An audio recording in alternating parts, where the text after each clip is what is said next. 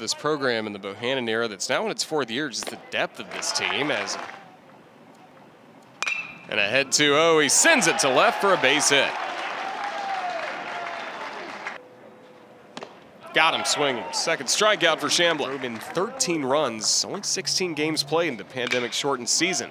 Sends this high to center. TJ Reeves back for the first out.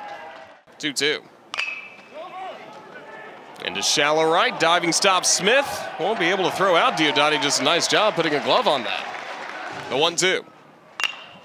Breaking ball back up the middle. Stopped by Wilson. Throws out Dixon to close out the inning.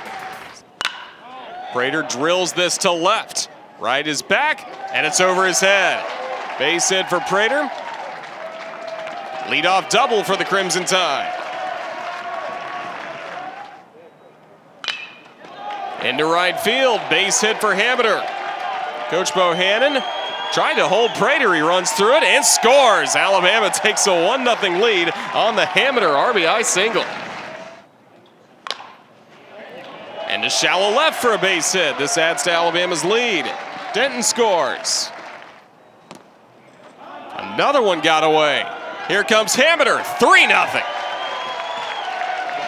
McNary. Right back in the strike zone as this is sent to right center.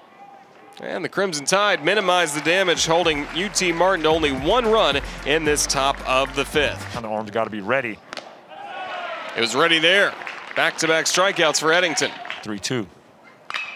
Sends the payoff pitch deep to right field. LaFollette all the way back, and it's off the wall.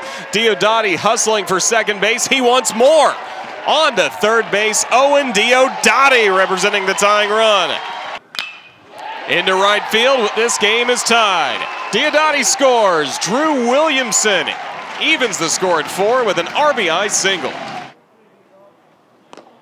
Got him swinging. Eli Giles with a strikeout.